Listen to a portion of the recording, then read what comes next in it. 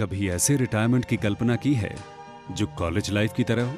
वही tension free life मौज मस्ती और हम उम्र दोस्तों का साथ। एक खूबसूरत जगह आप अपनी ज़िंदगी के सहेजे हुए खूबसूरत पलों को दोबारा से जिए।